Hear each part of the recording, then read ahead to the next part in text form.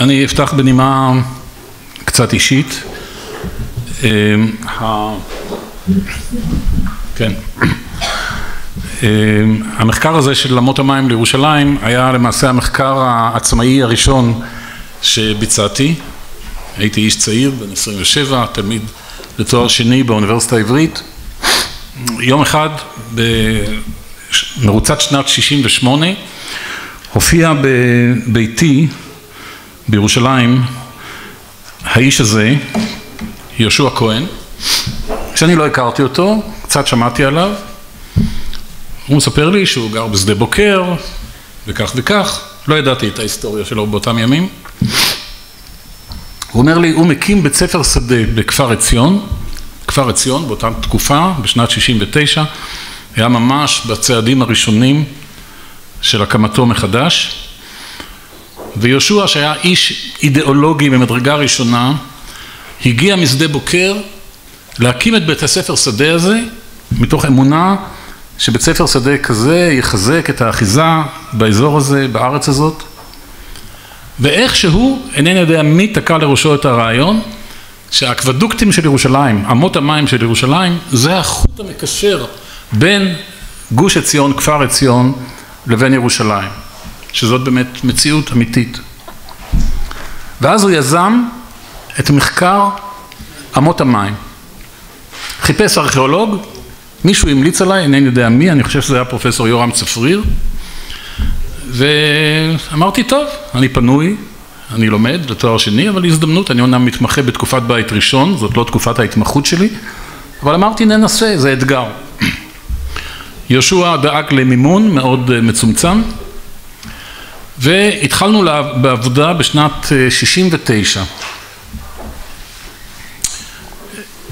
הצוות היה מאוד מצומצם, למעשה שני האנשים שליוו אותי לאורך כל השלושה חודשים של הסקר היו שיץ שיושב פה באולם הזה, תרים יד,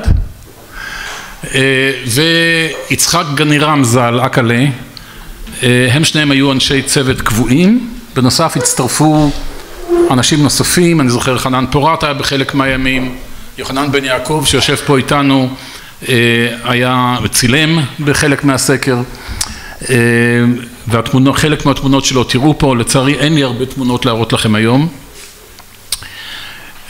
לגביי זו הייתה חוויה מיוחדת גם לעבוד באזור, אמנם אני כבר הכרתי את האזור הזה היטב כי אני הייתי שותף לסקר הארכיאולוגי הראשון של ארץ יהודה, סקר החירום שנעשה בשנת 68, החוליה בהנהלתו של פרופסור משה כוכבי, זה היה סקר שנועד לקבל מבט כללי ומהיר על השטחים השונים ששוחררו, נכבשו, איך שאתם רוצים במלחמת ששת הימים, כי ההרגשה הייתה שעומדים להחזיר אותם לחוסיין תוך מספר חודשים. שנה לאחר מכן יצאנו לסקר אמות המים, ובאמת האזור היה מקסים, הוא היה ריק, הוא היה מסביר פנים, ובאמת לעומת מה שאנחנו רואים היום, ההרס הנורא שאני שומע אליו, לא ראיתי אותו בעיניים, זה ממש עצוב, אבל אז התגלתה לפנינו, לעינינו, מערכת האמות, מערכת האקוודוקטים הזאת, במלוא פארה והעניין העצום שהיא מעוררת. אני היום אנסה לסכם בקצרה את המחקר הזה, הוא פורסם בספר הזה שאתם רואים כאן, ספר שערכו דוד עמית ויזהר הירשפלד ויוסף פטריק על אמות המים הקדומות בארץ ישראל, הוא פורסם בשנת 1989, המאמר שלנו, שלי מבוסס על הסקר שעשינו עשרים שנה קודם בשנת 69, המאמר נכתב למעשה עוד הרבה מאוד, הרבה קודם לכן, אבל הוא באמת מסכם את כל המערכת הזאת, את כל המפעל הזה וגם את כל המקורות הכתובים שקשורים למערכת הזאת בצורה המלאה ביותר. אולי נראה עוד תמונה אחת מההוואי של אותם ימים, הנה אתם רואים פה את שיץ, מגיח מהפיר של, מאחד הפירים של ואדי ביאר, יהושע כהן, אקלה ועוד מישהו שאני לא מזהה, מושכים אותו בחבל. אתם תשמעו על המערכת של ואדי ביאר אחריי מעזריאל שחקר אותה בצורה מפורטת ביותר בזמן האחרון מחדש. ובתמונה השמאלית שוב את יהושע, הוא הביא גם אקדמאים שעזרו לנו בסקר הזה, אתם רואים פה את ההידרולוג פרופסור לסלי שנן בצד שמאל, אה, אנחנו קיימנו הרבה מאוד אה, דיונים ובאמת זה היה מפעל מאוד מאוד אה, מעניין. וכאן יהושע, אולי יוחנן יכול לזהות את הדמות השנייה? אבו יוסוף. אוקיי. איזה מפעל? את בריכות שלמה.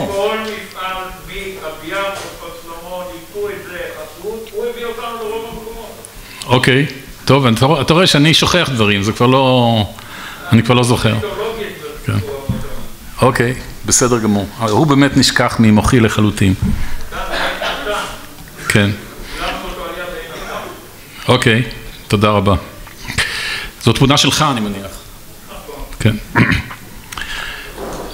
אה, ובכן, המחקר של אמות המים הוא לא חידוש שלי. בפוסטר של הכנס הזה מדובר שאנחנו אלה שחקרו לראשונה והבינו לראשונה את המערכת, זה לא נכון. המערכת הזאת נחקרה כבר במאה ה-19 על ידי חוקרים שונים, כמו למשל צ'ארלס ווילסון הבריטי, במסגרת האורדננס סרוויי של ארץ ישראל, והמחקר המפורט ביותר והמעניין ביותר, שפורסם לצערי בגרמנית, אה, הוא של קונרד שיק, אותו חוקר מופלא שוויצרי שחי בירושלים, אתם מכירים אולי את הבית שלו ברחוב הנביאים, שפרסם הרבה מאוד מחקרים, הוא היה מהנדס בעצמו, אדריכל.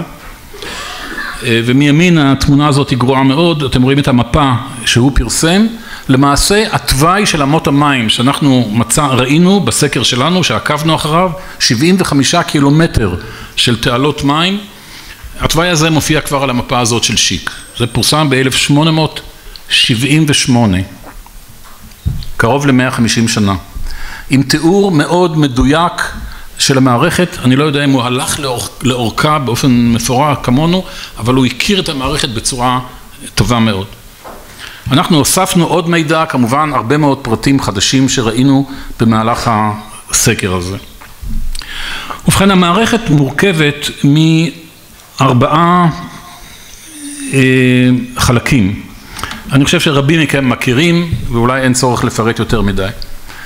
שתי אמות מים המובילות אל בריכות שלמה, אנחנו קראנו להם אמת הערוב שיוצאת מבריכת הערוב, אולי קצת מדרום לה, והאמה של ואדי ביאר שאני לא אדבר עליה כמעט בכלל היום, תשמעו עליה הרצאה מיוחדת. בריכות שלמה מהוות את הלב של המערכת הזאת ושתי אמות מים שמובילות מבריכות שלמה לירושלים, האמה התחתונה והאמה העליונה. ועכשיו כמובן נשאלות השאלות מי בנה את האמות האלה, מתי בנו את האמות האלה, מה הכרונולוגיה שלהם, מה, מהם השלבים השונים בהתפתחות המערכת. ועל זה ניסינו לענות במחקר הזה, במאמר הזה, בנוסף לתיאור המדויק של המערכת עצמה. אני מוכרח לומר שחלק מחוקרי המאה ה-19 חשבו שחלק מהאמות האלה, לפחות האמה התחתונה, הם כבר מימי שלמה. או מתקופת בית ראשון. זה כמובן דבר שהוא לא נכון, כל הטכנולוגיה של בניית אמות מים אה, בטכניקה שאנחנו ראינו אותה עם אה, קירות בעצם מבטון קדום היא טכניקה הלניסטית רומית וברור שבתקופת בית ראשון האמות האלה לא היו, אבל השאלה מתי בתקופת בית שני והאם חלק, חלק מהן מאוחרות לתקופת בית שני ועל זה יש, יש מקום אה, לדיון. אני אזכיר בקצרה את אה, מעט המקורות הכתובים שיש לנו, לא רבים. יש אה, שלושה מקורות, ארבעה אה, מקורות במשנה, בתלמוד, בבבלי יומא, כתוב שאין איתם, זהו אין עתן, הצילום שראיתם קודם, ליד בריכות שלמה, גבוה מקרקע העזרה 23 אמות, כלומר בערך עשרה מטר מעל גובה הר הבית. בירושלמי כתוב אמת המים הייתה הולכת לו לבית המקדש מאיתם איתם? כנראה חיר בתל חוך ליד בריכות שלמה. במי עין איתם? מסופר שהיה טובל הכהן הגדול ביום הכיפורים, זה בבבלי, זבחים.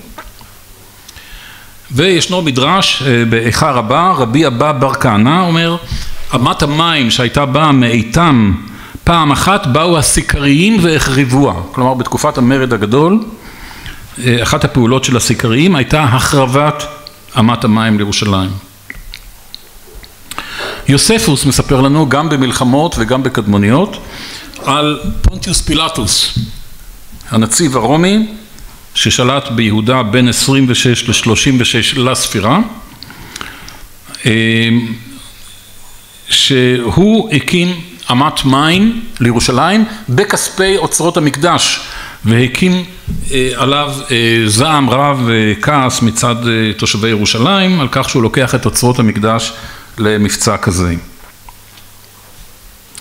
אוזביוס, אב הכנסייה מהמאה הרביעית, מצטט את יוספוס, אלא שיש מידות שונות לגבי אורך האמה.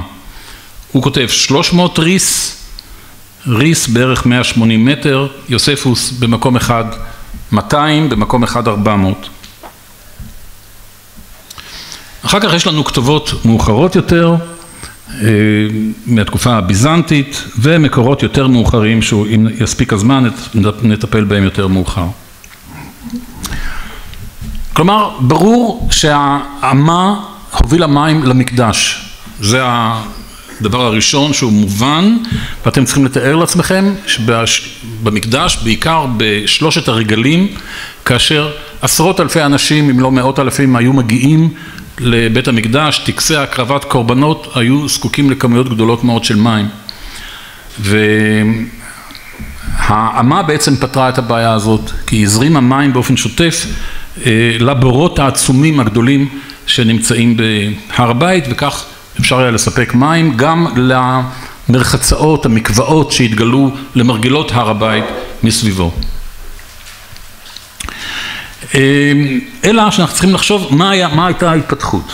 לגמרי ברור אני חושב שהאמה התחתונה היא הקדומה ביותר, היא יוצאת למרגלות הבריכה התחתונה בבריכות שלמה, נמשכת 21 קילומטר, פי שניים מהמרחק האווירי, עד להר הבית. האמה הזאת מוכרת לנו יפה, ידועה היטב, ו... וברור שהיא הקדומה ביותר, לדעתי, מה קרה פה?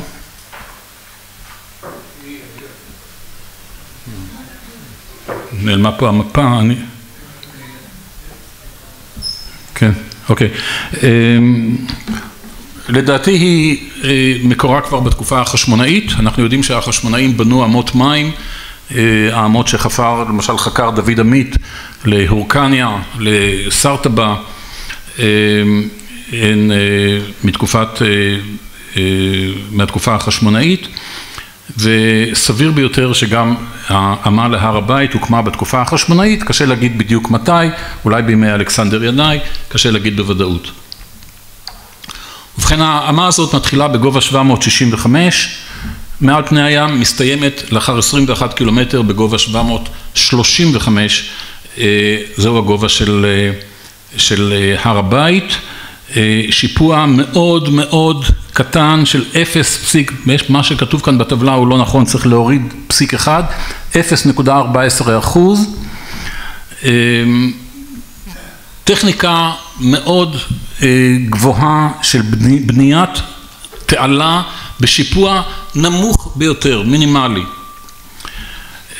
זה אולי ההישג הגדול ביותר של אותם בונים, של אותם אדריכלים ובנאים של אמת המים, הכושר לשמור על הגובה ולהגיע בגובה הנכון אל המטרה.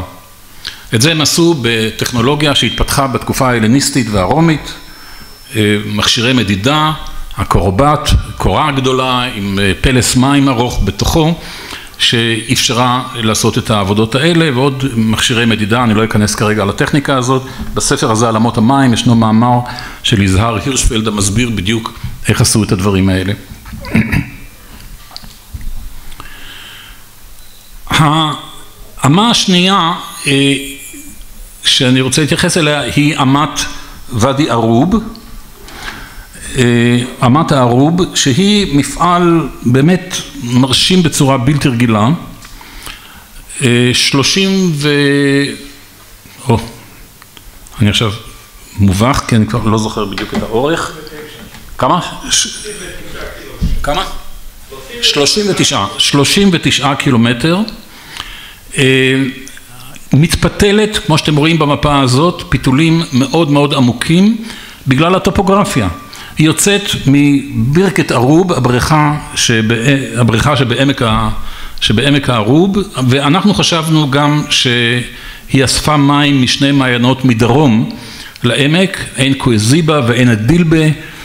אמר לי עכשיו שיץ שמדידות חדשות הראו שהן כנראה נמוכות מהאמה, שהמעיינות האלה כנראה נמוכים מהאמה. מכל מקום, כל העמק הזה כולו מלא נביאות, עין אל ערוב, מי תהום גבוהים, זה אזור שופע מים. והבריכה, בריכת הערוב, היא כנראה המקור שבו ריכזו את המים האלה ומשם יצאה האמה לדרך. ואתם רואים פה את הקו המפותל הזה מבריכת הערוב עד לבריכה האמצעית בבריכות שלמה, הבריכה התיכונה בבריכות שלמה, עד לשפת הבריכה התיכונה בבריכות שלמה. עכשיו אנחנו עברנו לאורכו מטר מטר, מיפינו אותו, צילמנו, מצאנו כל מיני קטעים מעניינים, למשל שלוש מנהרות שהתוואי חוצה בו בהם רכסים שעברו בדרך, במקום להקיף את הרכס הם בנו, הם חצבו מנהרה ברכס על מנת לעבור אותו, קטעים מצוקיים שבהם הם חצבו תעלה לתוך הסלע, לתוך המצוק ותמכו אותה בקירות תמך גבוהים מאוד ואזורים על ראשי הרכסים יותר מישוריים שבהם פשוט חצבו את התעלה וקירו אותה בפלטות אבן, בלוחות אבן. אני לא יודע, משום מה אני רואה את התמונה ולא רואים אותה על המסך. למה זה? פילי הטכנולוגיה. עכשיו אתם כן רואים, אבל לא ראיתם את התמונה הקודמת, כן. אז זוהי בריכת הערוב. אוקיי. זאת בריכת הערוב שרבים מכם ודאי מכירים. כפי שנראתה באותם ימים. עין קוויזיבה מדרום לבריכה. אתם רואים את אחד מקטעי האמה התחתונה. אנחנו רואים פה למעשה את הפלטות של הקירוי, לוחות אבן באורך של איזה מטר ועשרים, גסים, לא מעובדים, שכיסו את התעלה של הבריכה, של האמה הזאת, של האמת הערוב, באותם קטעים שהיא פשוט חצובה בסלע ולא בנויה. ובמקומות שהיא בנויה גם כן בדרך כלל מצאנו את לוחות הקירוי האלה. ובכן שלושה סוגים של תוואים, כמו שאמרתי, הקטעים החצובים והמקורים, הקטעים הנתמכים בקירות תמך בנויים, בעיקר באזורים מצוקיים, וקטעי מנהרות, שלוש מנהרות, ליד אחת מהמנהרות האלה מצאנו מגדל שמירה קטן, שלצערי לא, לא נחפר, אני לא יודע אם הוא עדיין קיים היום, ויכול להיות ששם אפשר היה לקבל איזשהו בסיס לתיארוך. מכל מקום זה היה המתקן היחידי שהיה ממש צמוד לאמה כמשהו שנראה כמשהו הגנתי. אמת הערוב כמובן הגדילה את כמויות המים שהגיעו למערכת האמות והיא, והמים האלה מילאו את הבריכה האמצעית בבריכות שלמה. אנחנו יודעים ממקורות מאוחרים יותר שמתארים רק שתי בריכות בבריכות שלמה וייתכן מאוד שהבריכה השלישית התחתונה היא תוספת מימי הביניים או מהתקופה הממלוכית. הבריכה, הבריכה, האמה הזאת היא כנראה שלב שני. אם האמה התחתונה היא מהתקופה החשמונאית, אמת הערוב היא תוספת שהגדילה את הספיקה ואנחנו שיערנו שזוהי האמה שבנה פונטיוס פילטוס, כלומר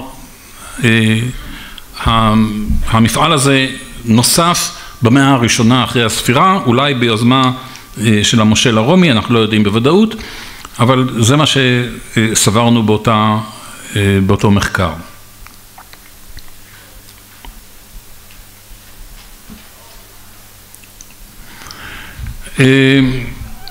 האמה השלישית המספקת מים לבריכות שלמה היא אמת ואדי ביאר שאתם כולכם מכירים והפך להיות למפעל תיירותי היום ואתם תשמעו בהרצאה הבאה על המחקר המרתק שעזריאל ערך בה.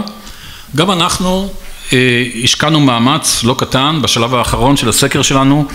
היינו למעשה הראשונים שנכנסנו לפירים האלה במיוחד שיץ היה זה שהזדחל לתוך כל הפירים, לא לכולם אבל לחלק מהם ראה אותם, הכיר אותם. הם היו מוכרים היטב מכיוון שבתקופת המנדט למעשה השתמשו במערכת הזאת, ניקו אותה ושיפצו אותה ולכן הדברים היו מוכרים, אנחנו גם יודעים שבקצה הוואדי נבנה סכר שהוא בנוי על סכר קדום ואנחנו עוד הספקנו לראות בחורף של שנת שישים ושמונה אגם ממש שנוצר מאחורי הסכר הזה בוואדי ביאר והוא כמובן הגדיל את כמות המים שאפשר היה להזרים דרך אמת ואדי ביאר המשופצת לבריכות שלמה בתקופת המנדט. אני לא בטוח אם בתקופות הקדומות היה גם כן, היה כנראה סכר דומה אבל יותר קטן. הכניסה לתוך המחילות של ואדי ביאר, לתוך הפירים והמנהרה הייתה מבצע כשלעצמו, חלק אנחנו עשינו, חלק נסע יותר מאוחר, היה שם סקר של המלח"ם, של חקר המערות שמנהל אותו עמוס פרומקין עם צביקה צוק, נדמה לי בשנת מספר שנים אחרי הסקר שלנו, הם נכנסו ומיפו את המערכת הזאת בצורה יותר מדויקת ועזריאל כמובן עשה את המיפוי המדויק יותר. אבל אנחנו גילינו כמה דברים מעניינים, למשל אתם רואים פה מצד ימין חדר בנוי גזית, בנייה נהדרת, כמרון חביתי שנמצא סמוך לקצה המערכת. ממש האמה עוברת מתחת לחדר הזה. היה קשה מאוד לחדור לתוכו ולראות אותו. הבנייה שלו מאוד מזכירה את החדרים הבנויים במעיינות שמסביב לבריכות שלמה, מיד נדבר עליהן, וגם בנייה שידועה לנו למשל מהרודיון וממקומות אחרים מתקופת הורדוס, ואנחנו חושבים שה, שהחדר הזה הוא באמת קדום, אם מתקופת בית שני או קצת יותר מאוחר, קשה לדעת בדיוק, תשמעו מעזריאל מה, איך הוא מתארך את המערכת הזאת. מכל מקום אתם רואים פה כמה תמונות ממערכת ואדי ביאר, הפירים וכדומה. חדי העין שבקם בתמונה המטושטשת הזאת יכולים לראות אותי בסקר צמוד לאחד הצוקים. זהו הפיר, האגם, ואמת ואדי ביאר המשופצת, שיפוץ בריטי, עם המים הזורמים בה בשנת שישים ושמונה זרמו שם מים בשצף קצף לבריכות ומילאו אותן, באמת ראינו את הבריכות מלאות לחלוטין. שלושת בריכות שלמה, אנחנו עשינו חישוב, אני כאן, אני לא אומר את המספרים המדויקים, כ-280 אלף מטר מעוקב בסך הכל שלושתן. כאמור, מקורות מתקופת, מתקופה הממלוכית מדברים על שתי בריכות, ובאיזשהו שלב פתאום מדברים על שלוש בריכות, וייתכן מאוד באמת שהבריכה התחתונה היא תוספת. לאחרונה נערך מחקר שאין לי כל כך את תוצאותיו כאן, על ידי מכון אולברייט בירושלים המזרחית, המכון האמריקאי, בהנהלת מתיו אדמס, יחד עם חוקרים מבית לחם, פלסטינאים, הם חקרו את הבריכה התחתונה מחדש וגילו נתונים נוספים. מה שאנחנו עשינו, ואתם רואים פה צילום של שלושת הבריכות בתקופת המנדט, ללא כל הצמחייה והפיתוח שרואים שם היום, אנחנו פשוט עקבנו אחרי העבודה של שיק, זאת בריכה התחתונה, שיק מתאר, סליחה, כן, קונרד שיק, מתאר מסביב לבריכות סדרה של מעיינות ואנחנו עקבנו אחריהם, אתם רואים כאן בגרף הזה, עין סאלח ועין בורק מעל הבריכה העליונה, עין עתן ועין פרוג'ה למרגלות הבריכה התחתונה. המיוחד הוא שכל ארבעת המעיינות האלה עברו פיתוח בתקופה העתיקה, הם כולם נתפסו על ידי חדרים בנויים ומקורים בבניית גזית ובקמרונות חביתיים. אתם רואים פה את החדר, המסדרון שנמצא מעל עין פרוג'ה. הם כולם בעצם מעיינות נקבה, כלומר נקבות, חלקן עמוקות יותר, כמו עין פרוג'ה, זאת נקבה ממש עמוקה, כ-20 מטר, או נקבות קצרות יותר, כמו אלה של עין סאלח שאתם רואים כאן, או עין בורק, שנמצאים ליד המבצר העות'מאני, המצודה העות'מאנית שליד הבריכה העליונה.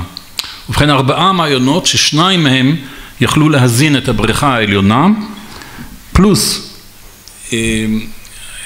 מי נגר עילי, כל אלה ביחד הזינו את הבריכה העליונה והמעיינות של פרוג'ה ועתן שהם לא יכלו להיאסף באחת הבריכות אלא נאספו כנראה ישירות אל האמה התחתונה לירושלים וגם יכלו להיאסף על ידי האמה להרודיון שהרי האמה להרודיון יוצאת מעין ארטס, מהכפר ארטס שנמצא במורד אותו ואדי, כלומר אותם מים יכלו גם להיאסף וזה תלוי היה כנראה בשיקולים של השלטונות האם להזרים מים גם להרודיון מאותם מעיינות ולמעשה גם מבריכות שלמה.